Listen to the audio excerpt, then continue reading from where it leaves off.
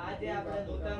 જે क्षेत्र એનો આપણે प्रारंभ देश में भी जो है इसका डंका बजे और पूरे देश विदेश में भारत का नाम उच्च हो अभी देवता की सूची के लिए उनको नमस्कार करिए पृथ्वी त्वयादृत आलोका देवी त्वं विष्णुनादृता पांचराज्यं गंगोदक स्नानं समर्पयामि गंगायै नमः गवये नमो नमः नमस्येव अदिति वेद माता च देव माता जगदीश्वरी देवी है सदगुरु देव की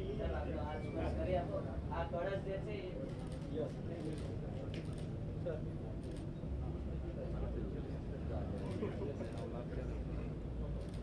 Amen.